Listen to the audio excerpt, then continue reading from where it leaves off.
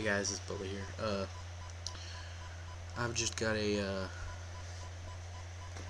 uh, LaCie 250 gigabyte hard drive. Well, it's a 500 gigabyte, but they said it was a 200, and they screwed up their order. Anyway, I got a 500 for like 15 bucks. So I was having problems with it. I couldn't get it to format. I thought maybe you guys were having the same problem. See, I got it to format now. I use it for my DJ stuff and I'm going to show you guys how I did it because it was kind of hard for me to figure out. Alright, here we go. So go to uh, computer and you're going to want to right click and go to manage.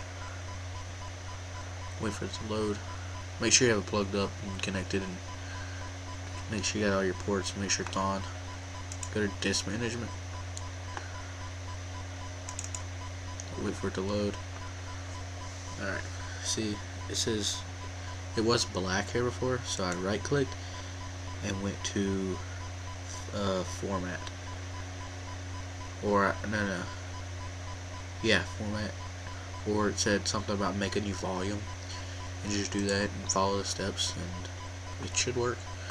Format to whatever drive you want. Mine's F. And you'll have your thing. It'll pop up right here. See there's all your stuff. So, I hope you enjoy this, and please comment, rate, and subscribe.